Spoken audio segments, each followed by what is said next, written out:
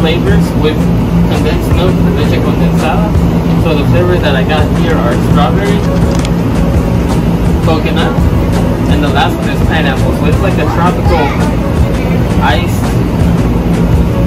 dessert type of thing. And it's basically like the Hispanic version of a, of a snow cone.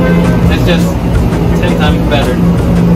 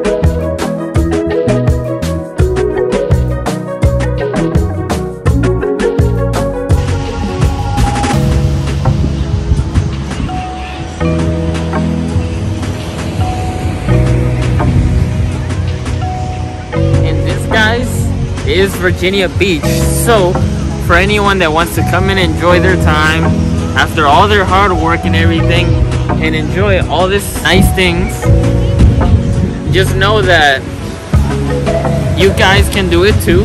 You just gotta work hard, keep doing your things consistently, and work, like I said, work on your craft, and you're gonna be able to achieve anything.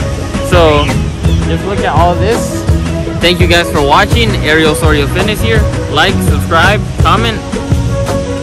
Peace out. Bye.